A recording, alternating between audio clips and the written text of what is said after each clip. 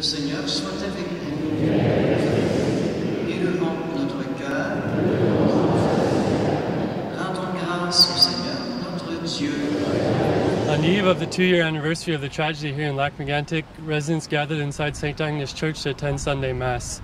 Priest Gilles Baril spoke eloquently about the tragedy and told residents to focus on hope and to stop looking backwards.